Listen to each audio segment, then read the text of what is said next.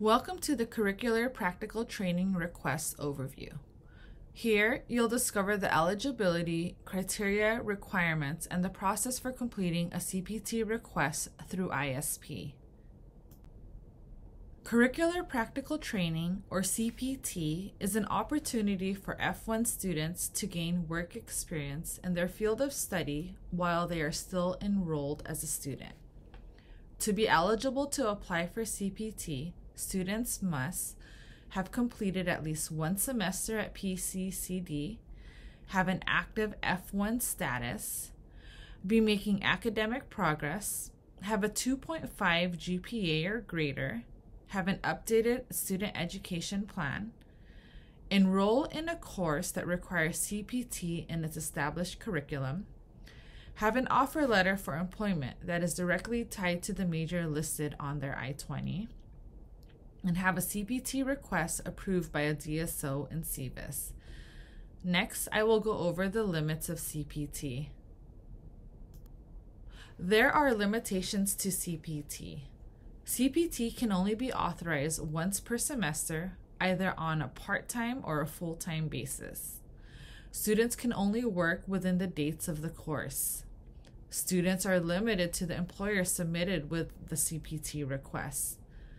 Students can only begin working after being approved by a DSO and SEVIS. Students must continue to maintain enrollment throughout the semester. OIE will authorize only two full semesters, fall or spring, and one summer CPT per student. Students with more than 60 transferable units may not enroll in CPT courses and request a final semester reduced course load during the same semester.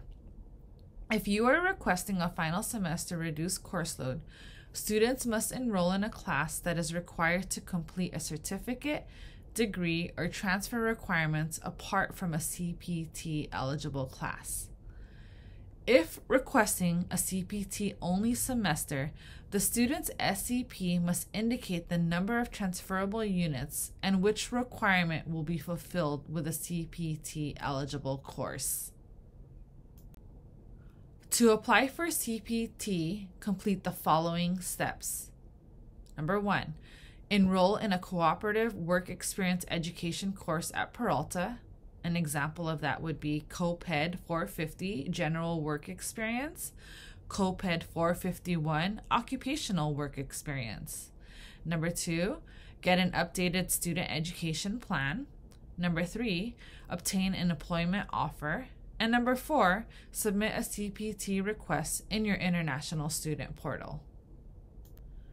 To find the CPT request, log into your student portal and click the International Student Portal tile. In your International Student Portal, find Student Requests and Documents.